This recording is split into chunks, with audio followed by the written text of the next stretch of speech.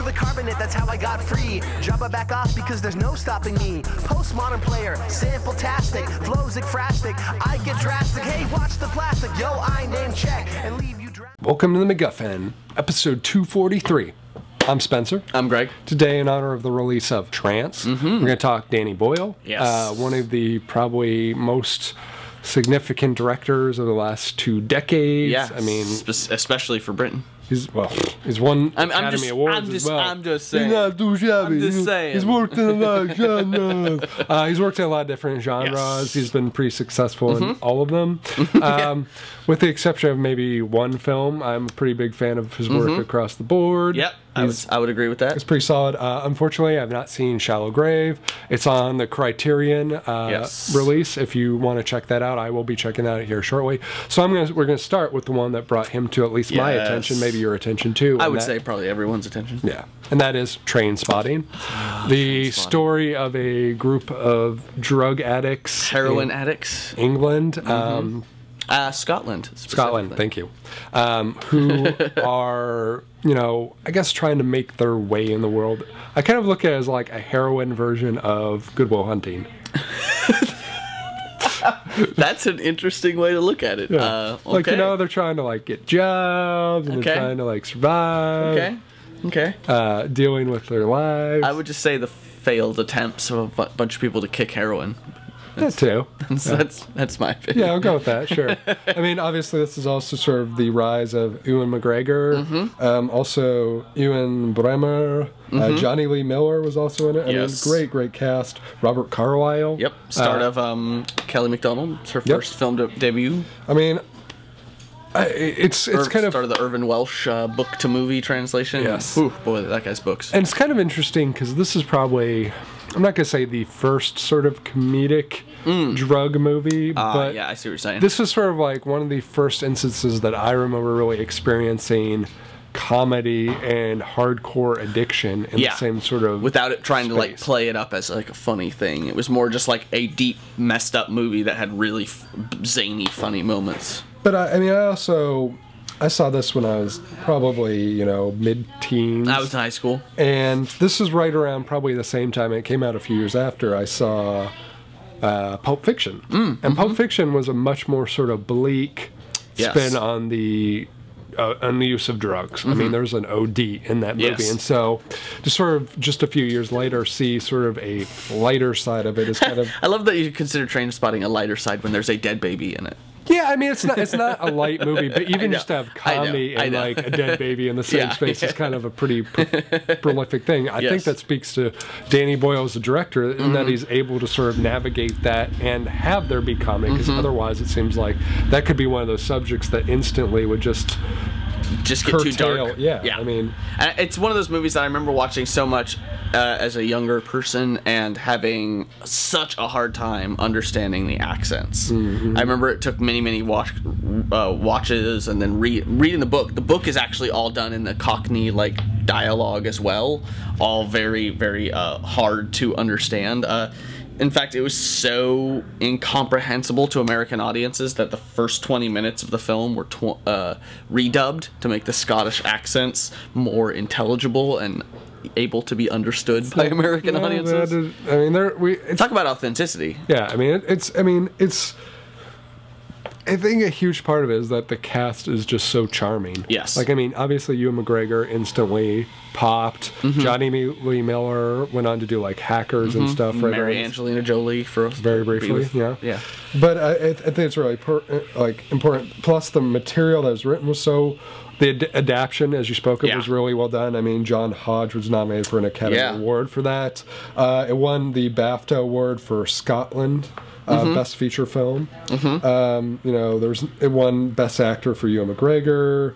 Uh, Robert Carlyle was nominated for Best Actor. Ah, Begbie. Kelly Macdonald was nominated for Best Actress. Like, it's just a very, very well received film. I mean, Mm-hmm. it's one that they've long uh, pushed for a sequel. Yeah, because there's I, a sequel book called Porno, and I I've think read. they're just finally going to get it done here in the near future. It's a little harder to do because the the second book is the main the the, the closest thing you have to main character is Sick Boy Jonny Lee Miller's character Hmm. from the first movie. It's like ten years after and it's mostly around him. And some of the other characters come back. Uh, Renton, Ewan McGregor's character, comes back briefly, but it's mostly about Jonny Lee Miller attempting to make a pornographic film. So I, I mean, I have to. I, maybe the. I mean, Jonny Lee Miller is relatively popular. I mean, he's been on. Was it uh, Elementary? Elementary. So he's got that going for him. Maybe they'll have him as the lead. I can't imagine it without amping up the Ewan McGregor role. Like Yeah. I feel like they'll probably rewrite it. I mean, so he's a he's still part. definitely like a part of it, but he's very clearly not the main character. He's definitely a supporting character. I feel, I feel like that would be one roadblock to potentially getting funding. I think which is probably the hardest thing that's been causing it to make the sequel in the first place Yeah. is it's a hard sell to not take your most charismatic main character and go with it. Yes. I also think it's interesting for that for the close-up shots of um, of the heroin injection. The makeup department constructed an entire prosthetic arm, Hmm. uh, complete with pulsing veins, smack tracks, and small pockets of blood that were appear when the skin was purchased punctured by a hypodermic needle. Wow. So that like went really. Which is, I mean, I think that starts to be a vein in Danny Boyle's filmmaking that he takes those extra steps to make specific things seem extra real or extra gritty or personal. he does go above and beyond the Call of Duty. Yes. Uh, Let's move forward Yes. though. Uh, just a year later, uh, also starring Ewan McGregor, we had A Life Less Ordinary. Mm-hmm. Yes. This is sort of his introduction, I guess, to America. You would say. I mean, Mm-hmm. Yeah. this is his first American-based production. Yes. You know, you had Cameron Diaz, is it? you had Holly, Holly Hunter, Hunter. Delroy Lindo. Oh, Delroy. um, about a um, I forget. Does this have Christopher Walken? No. Who plays the bad guy in this? uh, Dan. Dan, Dan Hedaya. Okay. Yeah. um, about what's it? Two angels who are in charge of a human relationships on Earth and offer uh, unsolicited help to bring an unlikely couple together. yes, and they bring them together by kidnapping. Yes, and uh, you know, obviously there are other sort of like. Um, Similar sort of concepts, you know. Wim Wenders worked Mm-hmm. in one. Um, there's City of Angels, which is a rem- remake of the Wim, Wim Wenders film. Um, but you know, it's I really like the sort of concept of um, Like Guardian Angels. yeah, Yeah. You know, I think it's a really interesting Especially idea. with Delroy Lindo and Holly Hunter. They're is- great. They're very quirky and strange characters. This whole movie is pretty quirky and strange. You I know- will say it's definitely on that that edge of the '90s film. I think it was kind of a big thing in the '90s. I mean, as I said, you know, there was Cameron Diaz was this was around the time she was She really was popping. Because I mean, you had Mask, the Mask, this, and then something about Mary in Yeah. a short span of time. But I mean, you had City of Angels, mm-hmm. which is about a, a- you know angels. You. Yes. had Michael, the Yes. John Travolta That's one true, about yes. Sort of like an archangel mm-hmm. coming Earth. I mean, so there was definitely something in the '90s Yes. about you know the relationship, I guess, between angels and humans. I mean, the End of Days was another sort Mm-hmm. Yeah, of one. true. I mean, there- Stigmata. There's a yeah, lot of those. There's a very, it was just a very like sort of like. I mean, probably had to do with like the year 2000 or something coming, you know, Yeah. the second coming, all that sort of stuff. Um, mental, cultural uh, thoughts at the time, Yeah. people's worries. But I personally, I, I like the idea of sort of the guardian angels. Particularly, I think they'd probably be quirky. Realistically, Mm-hmm. Yeah. I would like. I- mean, if there is a heaven, Mm-hmm. um, I would imagine that people would be pretty much the same there as they are on Earth. Mm-hmm. And so, if you were tasked with being a guardian angel, you'd probably be much like you were That's the as a human. Yeah. Yeah. And so I, I, I- it feels somewhat natural. And I, you know, I think Cameron Diaz and Ewan McGregor are kind of an interesting couple. Yeah, I their- mean, their, their chemistry is interesting in the film. I would say. I mean, you know, the fact that he's kidnapping her kind of makes one of those Stockholm syndrome love stories. But uh, It's kind of a unique way to spin a love story. Yeah, yeah. I mean, not very common. no, no, uh, same writer as uh, as John Hodge. Spot, Trainspotting. Yeah. So you got John Hodge, Danny Boyle working together. I, I, I mean, I there is definitely s- sort of a roughness though about Ewan McGregor during Mm-hmm. these periods where he, I mean, he was very charming, Mm-hmm. but he definitely does not feel like as skilled an actor as he has Yes. since gone on. You know, Yes. I feel like you look at him and say like um, episode one, Phantom Menace. Versus like here, and that's probably I don't know, like three years, four Mm-hmm. Probably years yeah, apart. maybe, like, and yeah. he feels like somebody who really figured himself out. Yeah, I would say part. You can see him growing as an actor during all these films. Yeah, he definitely hit that like a big blockbuster caliber, and I think he amped it up with his acting skill very quickly. I mean, it's interesting to think about a guy who went from you know Trainspotting in the mid '90s to Phantom Menace with, in like half a decade. Mm-hmm. Yeah. like it's pretty. It's a pretty bold move by Lucas to cast him in that role. Yeah. gotta give him credit for that. But he won. I mean, he won the Empire Award for Best British Actor here too. Hmm. Uh, you know, unfortunately, this film seems to have uh, largely been overlooked by a lot of people. I'll They say. faded away in Yeah. the annals of time. But like, man, I remember seeing the trailer for this Mm-hmm. before it came out, and the trailer so resonated with me. Oh, I remember. Love. I I think I probably owned this movie in the early 2000s, and what I mean, it was one of those movies that I remember watching all the time. Like it was up there in my, you know, recent fun favorite-ish movies. Unlike the next film. Yeah, I mean, it's kind of you talk about Ewan McGregor's rise to stardom. Mm-hmm. Danny Boyle very much was on a similar sort of track, and Yes. you know, just a few years later, he did The Beach, which stars Leonardo DiCaprio, who was Mm-hmm. Yes. big time. This is post Titanic. Yep. I mean, Interestingly, not Danny Boyle's choice. He actually wanted, not surprisingly, after the first two films we talked Ewan about, McGregor. Ewan McGregor to play the role of Richard, but the studio wanted Leonardo DiCaprio because he was blowing up with Titanic and, and Le- Romeo plus Juliet. And so they cast him before Boyle could intervene. Hmm. And I guess while McGregor blames the studio, he has reportedly not spoken to Boyle since, which is sad because they had such a seemingly strong career in the beginning of their. I, I mean, that's interesting. I think they, that can't possibly be true, given that the prospect of Trainspotting 2 is out there. Yeah. Um, they probably made up at some That's point. the hope. I'm pretty sure they have. But, you know, this story about a guy who travels to Thailand, Mm-hmm. finds a strange map, and then, you know, sort of joins this colony on this beach Mm-hmm. who kind of has this. Uh, relationship with these drug dealers on the kind same of island. shady interaction. Yeah, and then sort of things fall apart, if yes. you will. Yes. Brings back Robert Carlyle Mm-hmm. uh, in sort of a funny, interesting role. You know, I really like the first half of this movie. Like I like, can agree with that. Mm-hmm. I like it when he goes to Thailand. I like it when he sort of meets uh, Robert Carlyle's Yes. character. He goes and he meets the little the community. I, I like as he's sort of getting integrated in the community. Leonardo DiCaprio, very skilled actor. Yep. I mean, it's not like he doesn't know what he's doing. But there's a point that it sort of changes um, when they became aware of like the drug dealers. Uh, they're Does it kind of ramp up the action element, Yes. as it were? but specifically, the moment that it turns for me is when Leonardo DiCaprio is like so disoriented that he's imagining his life as a video game. Mm-hmm. Yep. And that was the point I was like, what the fuck? Because it's it, it becomes just too much at that point. Yeah. Like it's it's so There's a reason people don't do first-person shooter type elements in movies well, or at all. I mean, it, that was so cheesy, but like the story really just takes this sort of like, um, I don't know how to describe it, like a kind of um, like- over over the top sort of turn, and it becomes just, like too much. Yeah, yeah, okay, psychotic. That's fair. Which is kind of shocking because you have Danny Boyle directing it, and you have John Hodge back again Mm-hmm. Yeah. as one of the writers. Third time. I mean, it's just I don't I don't really understand where things necessarily went off the rails. Yeah.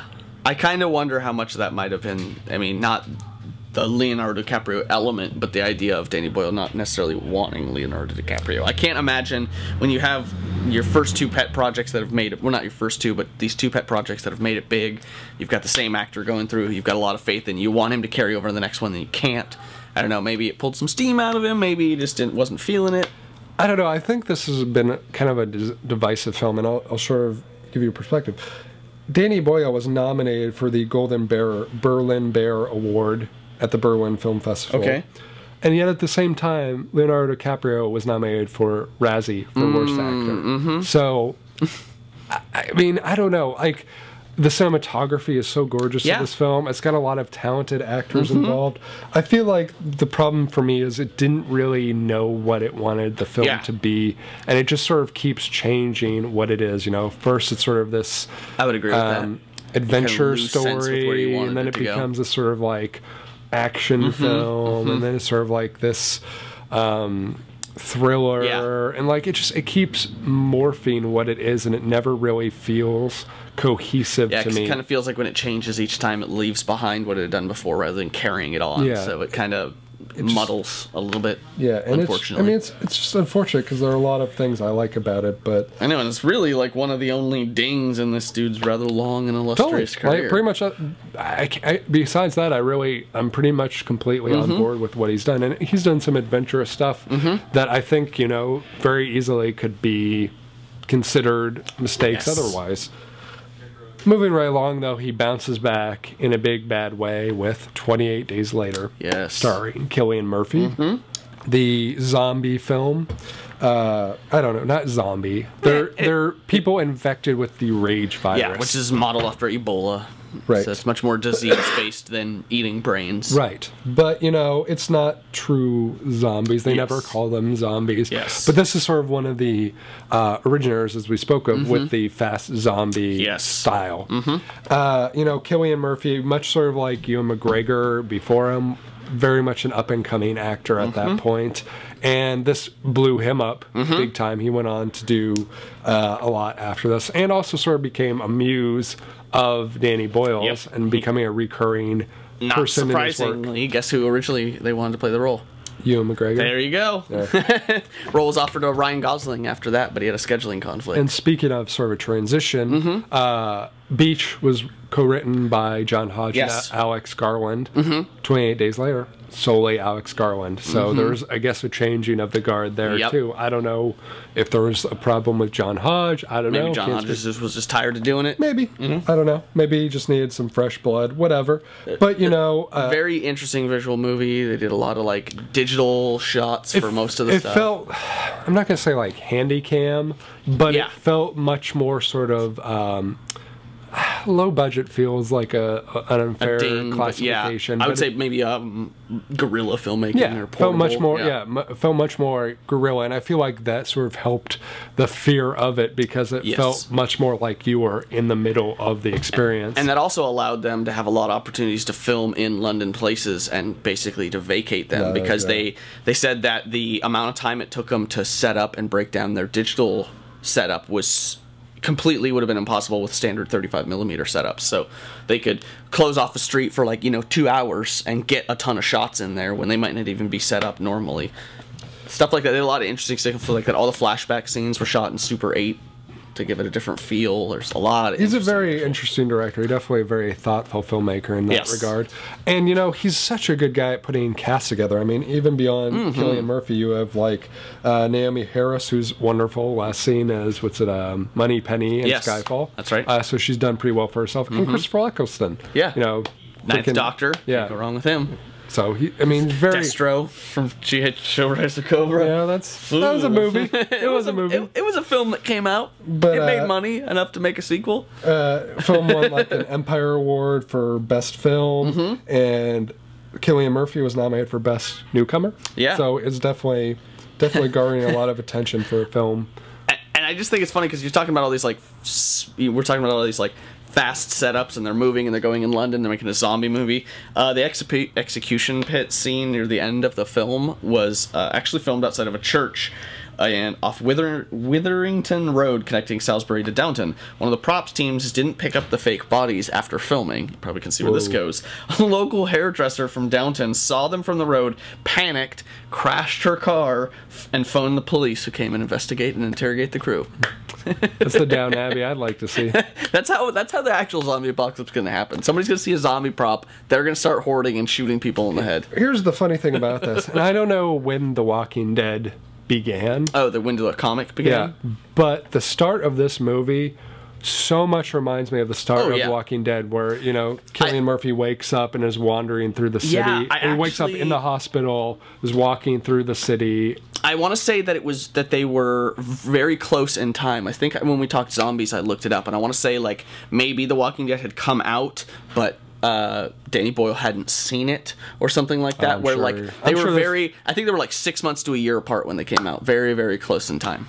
Yeah, I, I'm sure Danny Boyle is not ripping off. No, but Dead. really interesting is one of those weird things. It's just like I mean, I not guess a bad idea to. I mean, I guess it's one of those things, though. If you're going to wake up with no memory of where you are, it's not a gotta probably be in a hospital setting. Like, I can't imagine you just laying in some ditch for like three weeks, not like, getting eaten or not killed. getting or, eaten, yeah. not being found by a zombie. Yeah, if there's anywhere you're going to survive long, it's probably going to be in a hospital. Yeah. So, That being said, Mm-hmm. uh, we're gonna move right along. Skip uh, Millions, which was an interesting film of Mm-hmm. his. A kind of, um, I don't know if you want to call it like almost like a fable, but you Mm-hmm. know, a youngster finds some money, gets involved with some criminals, stuff like that. Interesting. Still film. haven't seen that one. Yeah, but again, you know, jumping between all sorts of genres, he then goes forward and does Sunshine, Mm-hmm. Sunshine, yes. Mm-hmm. again with Cillian Murphy, uh, which is about a team of astronauts sent to reignite the dying sun 50 years into the future.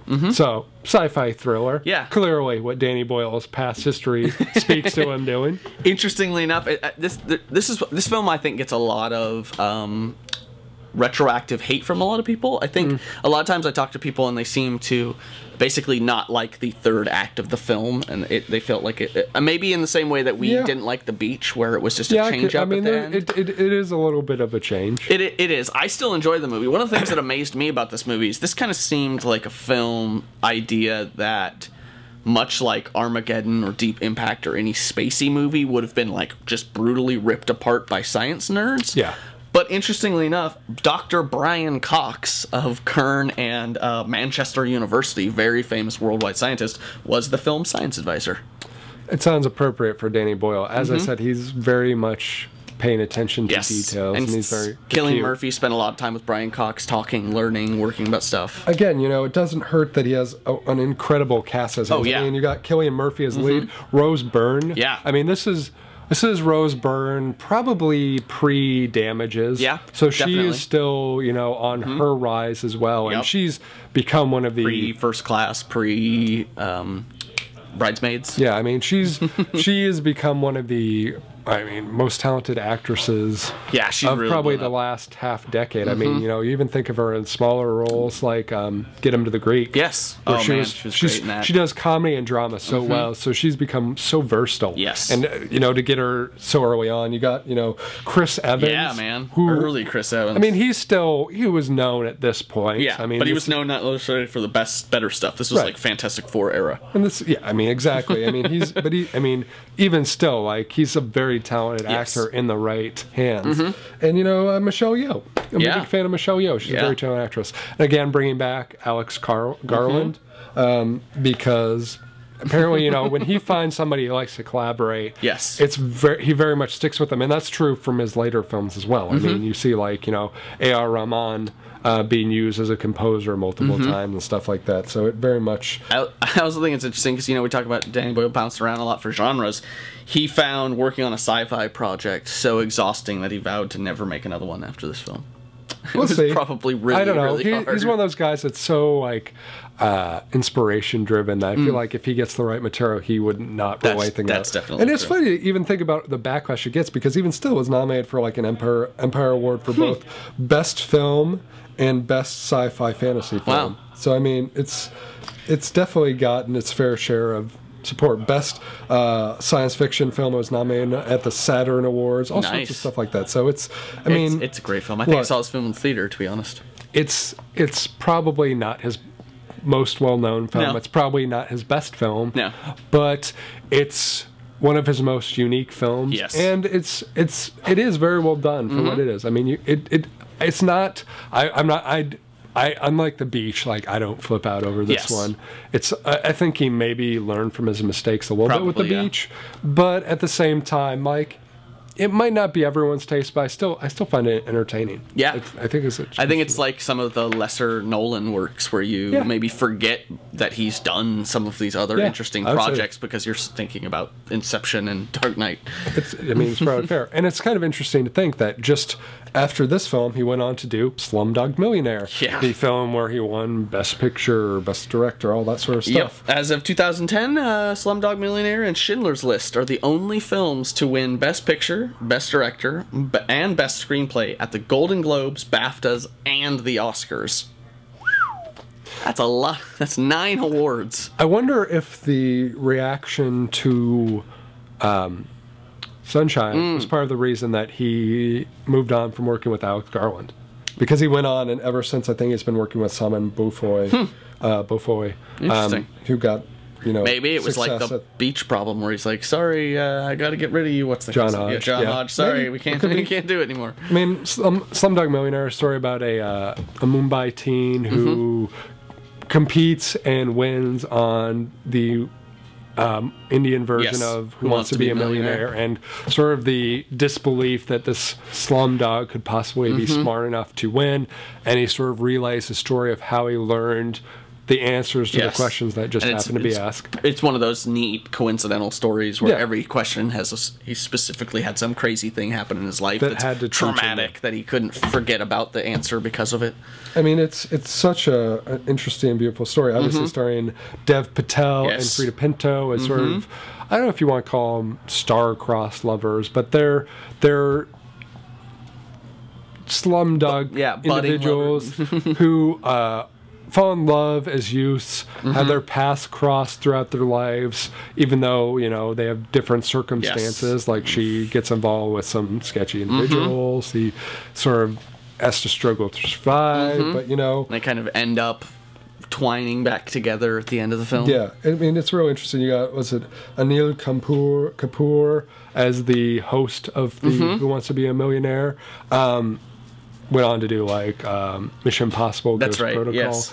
But I mean, um, it's interesting that he actually involved people like him, who are I believe heavily in the Bollywood community. Yes, and yes. As part of the film, you know, you know, Even has a Bollywood dance scene, sequence. And, yeah. I mean, it's such, it's such a perfect blend of sort of flashbacks and present day Yeah. storytelling that make it so interesting. Plus, you know, was it A.R. Rahman who did the music was Hmm. so so talented. Um, you can understand why he won. My, I mean, Simon Beaufoy won Best Adapted Screenplay, won Mm-hmm. Best Cinematography, Best Editing, uh, Best Original Score, Best Original Song, Jai Ho. Just sweet. Jai Ho. Um, did it? Yeah, sound mixing. What did it not win? Well, it lost original song as well. Oh, To itself, lost sound editing, but yeah, pretty much won everything else. So I, I I think it's also neat that uh, Danny Boyle placed the money to be paid to the three uh, lead child actors playing all the three main characters when they're Mm-hmm. young um, in a trust that was to be released to them upon the completion of grade school at 16 years of age not to be stopped to be stopping there and just saying hey here's a trust that you'll get eventually the production company set up an auto rickshaw driver to take the kids to school every day until they're 16 so like it's not just like hey you're gonna get some money eventually it's like we're investing the fact that you three kids deserve to have the advantage to I, I hope I hope they get out of it well. I mean, you think about American child actors getting dicked over, like it's sort of like.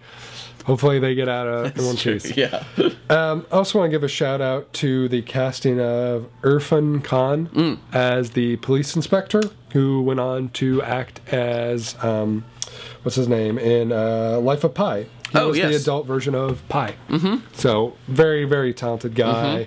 Mm-hmm. Um, again, you know. One of his things that Danny Boyle almost always does is have amazing casts, and this is just yet another example. And you know, in the same way that like now a lot of the big superhero movies or big blockbusters are trying to appeal to Chinese marketers because the Chinese film market is so big and and you know profitable.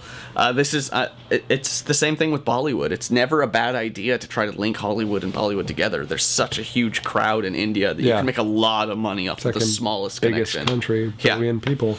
But yeah, I mean, it made 300, 400 million dollars, so it's clear a success. I mean, it's just, it's probably one of the tightest movies he's made, if you ask me, in terms of just like I can see the that. balance of the plot throughout and the unfolding of the And the story. appeal, overall appeal, I would say. Yeah, I mean, it's probably the widest crowd pleaser, for sure. But especially considering the next one he did. Yes. 127 hours. Um, story of, what's it, um, Aaron Ralston. Yes. Who. Getting his arm stuck in a rock in Yeah. the middle of uh, is it Mo- Arizona? I forget. Moab, Utah. Utah, that's right. Um, Fucking Utah. Again, you know, involving uh, Simon Beaufoy Mm-hmm. as the writer based upon the book of Aaron Ralston. Mm-hmm. Um, this is probably, again, it's a very, very well done movie. Mm-hmm. Much more sort of. Visceral, maybe. Well, it's it's definitely probably the most visceral reaction. I mean, he's I mean between uh, you know Trainspotting Yes. and possibly like 28 days later. the reaction to this one is so much stronger. Probably because it's the most real. Yeah. Because it was real life. yeah.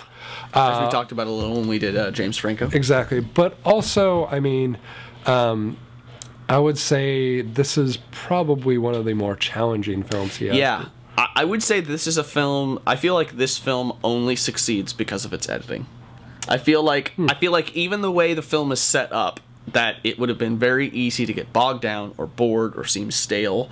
But something about the Dan- Danny Boyle's editing from the beginning intro all the way through the movie just keeps what would seem like a long, arduous pace very tight and hmm. very quick moving. I feel. Uh, yeah, I mean, I could see that. I think personally, I think for me, the thing that really was the reason why it succeeded was the relationship between Danny Boyle and James Franco. Hmm. Like, Danny Boyle and James Franco really both were hyper conscious of Making it legit. yeah, I mean, Aaron Ralston was very concerned about mm-hmm. giving it. In fact, he thought it could only be done as a documentary. Yes. And so to have Danny Boyle really invest as much trouble as he could in making it authentic Yes. was really important. Uh, you know, like having James Franco struggle to get his arm from out underneath the rock when he he didn't know Danny Boyle didn't tell him that he could not it was impossible for him to get him out so he actually physically struggled for like 20 minutes thinking Yep. he might be able to do it then they just filmed it. yeah um, also I will say probably the reason why it's the most challenging is a because it's so visceral for me like I don't know if I'll ever be able to watch it again. I agree. Yeah. because it's so brutal watching uh, Aaron's story unfold but also I think It's a one man show. Too. the yeah, something hard well, about true. that. I mean, you know, yeah, I work for Castaway, so you know it's possible. Yeah. Um, but the editing is really interesting and unique, and I think it could be a turnoff to some people Hmm. because it is is a very sort of stylized Yeah. version of the story. I mean, there's a lot of like. Um, Delu- I, I, I guess you would call them delusions Yeah. because he's like dehydrated and yeah. whatnot. Like there's a lot of hallucinations yeah, from hallucinations yeah. Mm-hmm. of like things that are occurring. You know, things with his family, Yes. things with uh, the Like how he experience of here, hiking yeah. and stuff like that. Like it, it feels like it very easily could be like um, drifting too far from Hmm. Interesting. The core story because of that. But I think James Franco and Danny Boyle do enough to keep it anchored that it makes it interesting. Hmm. I can and, see that. and tough. Like I think that's the core to me. It's funny that you know you talk about Jamie, James Franco and Danny Boyle getting along because I'm going to give you you get exactly one guess who was originally going to play it, not James Franco. Cillian Murphy. Dang right.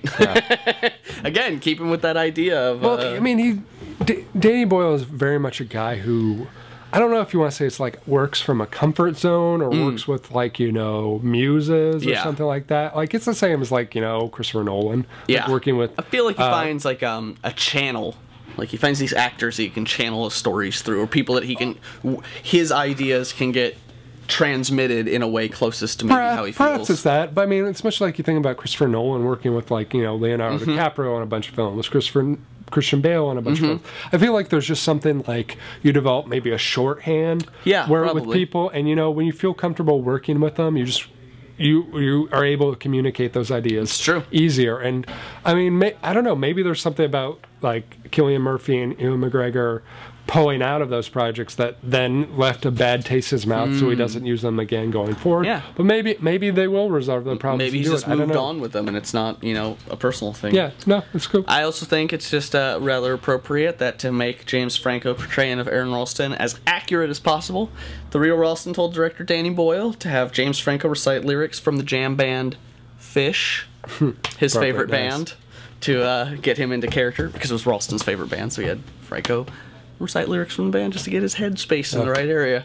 I think again it speaks to how talented of a director Danny Boyle is. Yes. That I mean, I think it's a very short list of people who A as an actor and B as a director could create a film that is really one person throughout the entire Yeah. movie. I mean, you know, Robert Zemeckis with uh, Tom Hanks Uh-huh, being yeah. another one, but I, I think it's a very short list of people who could actually achieve that and, And have, have it be a compelling Yeah, have it would be so compelling, so good, and as you said, so, so almost traumatic because of how personal it is Yeah. that I, I agree. I would probably never watch the movie again, or I would watch like the up to you know almost the end, and then I would just be like, it's cool. I don't need to watch that part. I'll just fast forward a little bit. Okay, cool. Then look, he, Yeah. the ending. Yay! Yeah, totally. yeah.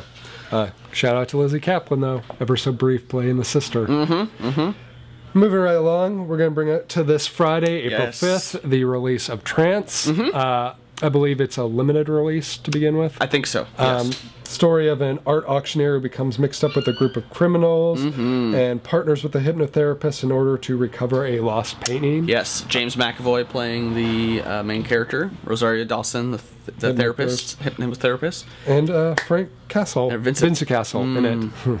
Punisher. Not Frank Castle, Vincent Cassel. Yeah. Awesome French actor, Brotherhood of the Wolf, and Lane represent. Black Swan. Well, yeah, He's done a but lot I like his. he's a- he's I been like in think his stuff. French movies a little Yeah. bit more than his American Yeah. work. Uh, very talented guy. Yes. I mean, looks like a really twisted movie. I saw the Red Band trailer for it probably first, and there's a lot of uh, playing with reality because the hypnotherapist element um, with James McAvoy, who I love. I, I think James McAvoy has just been killing it in these last He's, few years. he's been pretty amazing the last few years. His choices. I mean, even Dayback. I think the first one that really turned it for me was actually Wanted. Yeah. Which I had really low expectations Same for, here. and it it really pleasantly blew. me yeah, and he was probably one of the better parts of it. He's very, ever- very charismatic. Ever since then, he's. I mean, and he's jumped much like Boyle between all sorts of dramas. You know, period pieces. Mm-hmm. Last King of Scotland, X Men First Class, Extra Adventures, yeah, and all dude, sorts of all stuff. over the yeah, place. he's, he's a really talented guy. And you know, Ro- Rosario Dawson's probably an underrated. Yeah, she uh, hasn't done a lot. I mean, I'm trying to think like what that bad train movie with uh, Denzel Washington, and then probably what the Rundown. It's probably and Hmm. Uh, Clerks Two. It's like probably almost it. uh, since better than Men in Black. Oh yeah, that's right. Oh, that's. Rosario Yeah. Dawson. I'm sorry. Yeah. Pour one out Um, for you yeah. for that one. but you know, it's. I mean, it's definitely interesting. It's very interesting to think that this is sort of coming full circle. Mm-hmm. Who the writer of this was? oh, ooh, John Hodges. John Hodge. Yep. Yep. Coming full John circle. Hodge, not with John Hodges. Joe Aaron, um, Arnie, Aaron, Mm. Aarony. Um, see if he's working with him going forward. Makes me wonder what happened with Simon Beaufoy. um, but you know, it, it's a really interesting. Uh, looking film it definitely it's a very straightforward premise it Yes. seems like That's And- gonna go real funky in the head. I yeah, think. I, I mean, it's named Trance after all, so you got to imagine it's going to be interesting. I, I, I can't help but think that Danny Boyle is going to do something interesting with what could otherwise be a very straightforward yeah. plot. Yeah. So I there's a there's a scene in the Red Band trailer that makes me want to see the film all by itself. Yeah. Just just to- Trailer's interesting, poster's interesting. I just, Uh-huh. I think it looks like it and, and it's like you know when you give Danny Boyle a concept that seems rather simple on paper, that usually is when he does some of the most interesting stuff. Yeah. Like oh he's gonna make a zombie movie, but look what he made. knows, yeah. Heroin addicts. Look what he made. Come on. don't, Dan, don't doubt Danny Boyle. yeah, don't doubt Danny. The three Ds. Yeah, exactly. Yeah. Lesson learned. Um, anyway, no, let us know your thoughts about that movie mm-hmm. and join us next time for our DVD rundown for the week of April 9th. Mm-hmm. As always, we're on MacGuffinPodcast.com, Twitter.com slash MacGuffinCast, Facebook.com slash MacGuffinPodcast. Phone number 323-761-9842. We're on iTunes, Yes, we we're are. on Blip.tv, mm-hmm. Miro, Roku. Check in and get glue. Leave us some reviews on iTunes. Bug us on YouTube's. Give us the subscriptions and the, the downvotes. and the chats, and Right? the upvotes. I mean, the up, some- the, the up thumbs. We want Yeah, some thumbs yeah, up. We don't thumbs. want. Don't tell me to go thumbs down. No, no, no, no. Don't listen to me. Yeah, Don't listen to me.